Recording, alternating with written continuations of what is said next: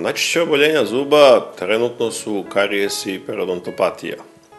S tim što ako se ide po sistemu bolje sprečiti nego lečiti savremenim preventivnim sredstvima, vrlo lako se može prevenirati i karijes i parodontopatija, tako da ljudima to bude mnogo lakše.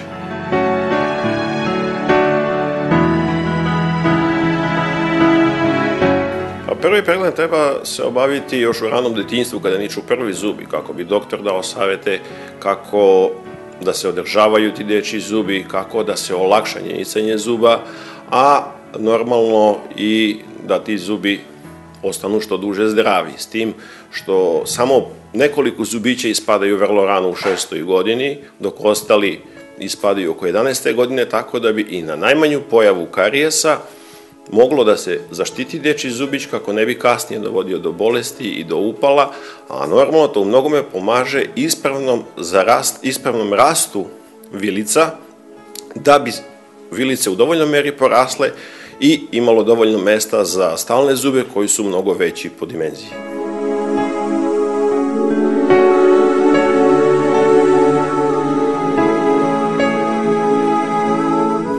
A od mera prevencije je redovni pregled kod stomatologa, redovni odlazak u stomatološku ordinaciju.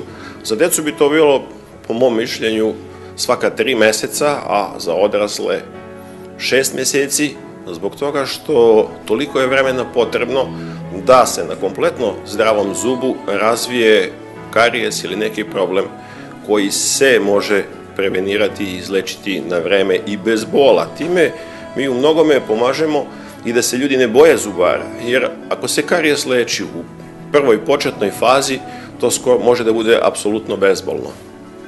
E sada, tu ima i savremenih medicinskih sestava, kao što su razne vrste lasera.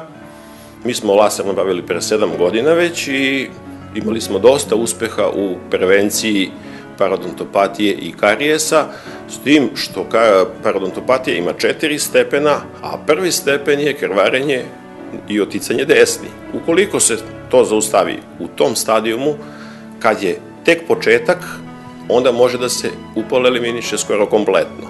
Ako se čeka da to bude treći ili četvrti stadijum kada zubi ispadaju, tu više pomoći nema.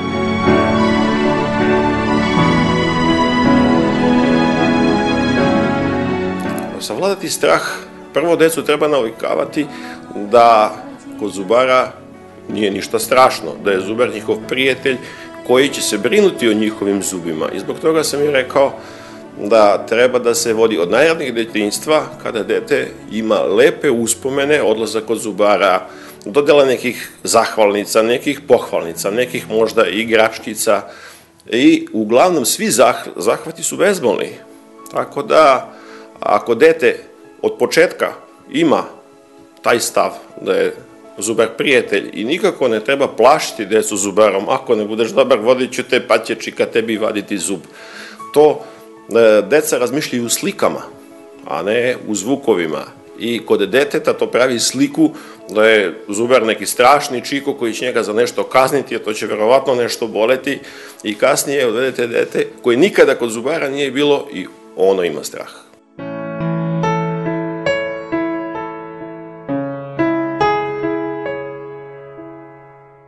Anestezija sada ima dosta vrsta tih anestezija na tržištu, ukoliko se primenjuje prava anestezija za pravu indikaciju u pravoj količini, to je sasvim bezbedno korišćenje, normalno ako se uzme anamneza od pacijenta, da li ima nekih bolova ili nekih problema, onda se i to uzme u obzir, a, a jedna od mojih metoda na, na kojima radim i koje se uskoro treba objaviti u svetu jeste anestezija laserom za vađenje mlečnih zuba, s tim što je kompletno bezbolno, bez ikakvog uboda, bez ikakve šprice i kompletno bezbolno vađenje mlečnog zuba.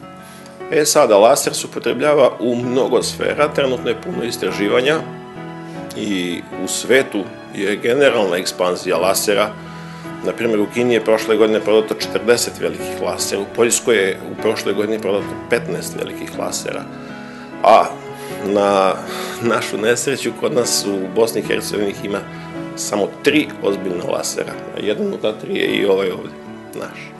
Tako da, Ako se e, ide napred sa ispravnim i preventivnim metodama, kao i tim e, kurativnim metodama lečenja periodontopatije, zaustavljanje problema u startu samom, onda normalno to ima uspeha.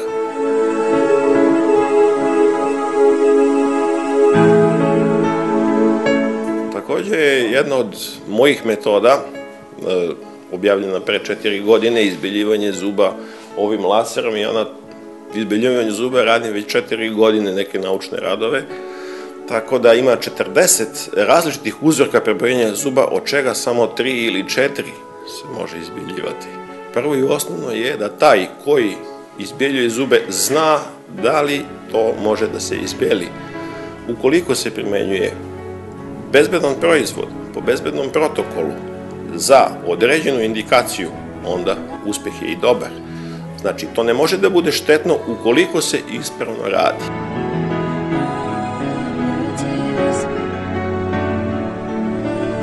Moja poruka pacijentima da idu redovno kod zubara, bez obzira kod kog, da li kod mene ili kod bilo kog kolege, jer svi smo mi e, profesionalci i postojimo za naše pacijente.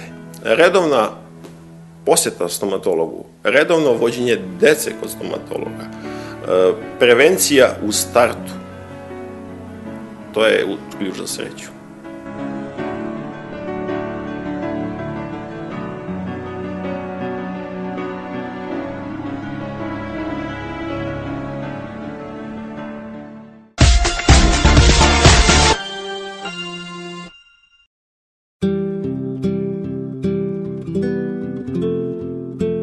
Ljekovito bilje, žuta broćika, izvrstan lijek za liječenje svih bubrežnih bolesti, čak i onda kada su svi drugi lijekovi zakazali. Osim toga, upotrebljava se u suzbijanju svih oštećenja kože, liševa ekcema, kožnih nečistoća i protiv raka kože. Koristi se u liječenju katara, želuca i crijeva. Podubica.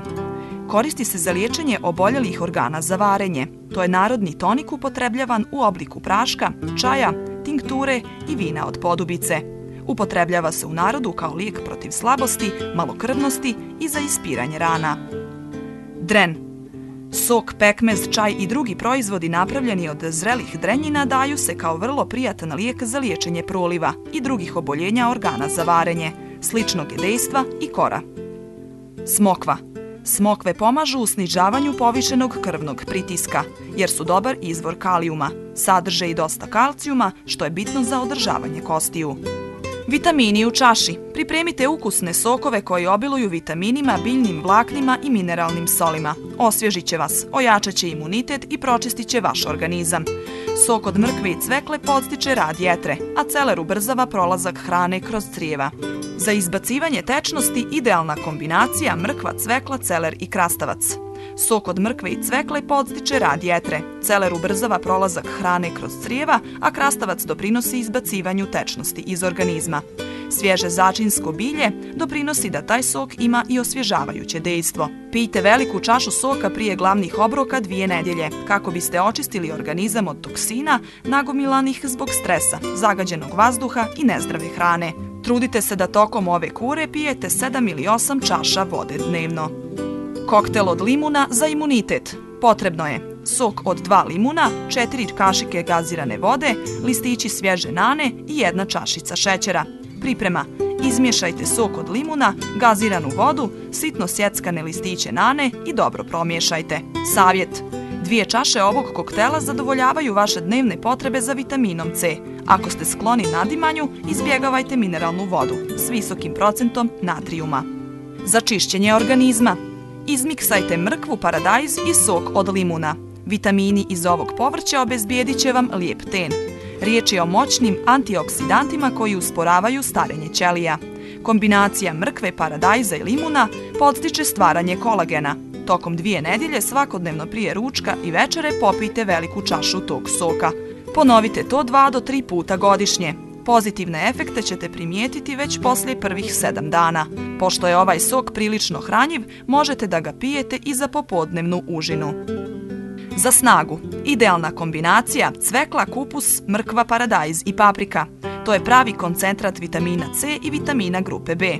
Kupus je nezaobilazan u tom koktelu, pošto obiluje biljnim vlaknima, vitaminom C, kalcijumom i gvožđem. Mrkva i cvekla sadrže folate koji ublažavaju osjećaj umora. Ako ste zimogrožljivi, dodajte i džumbir.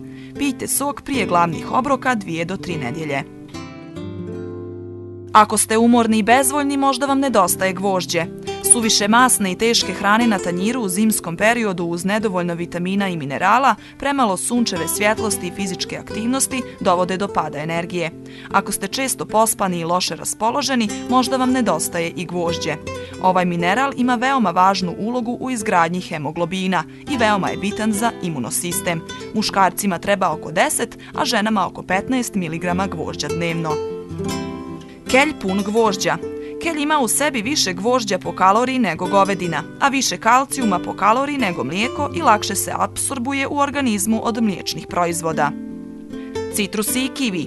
Citrusi i kivi nam jačaju imunitet, što je posebno važno zimi, a velike količine vitamina C i flavonoida pomažu nam da lakše absorbujemo gvožđe iz hrane.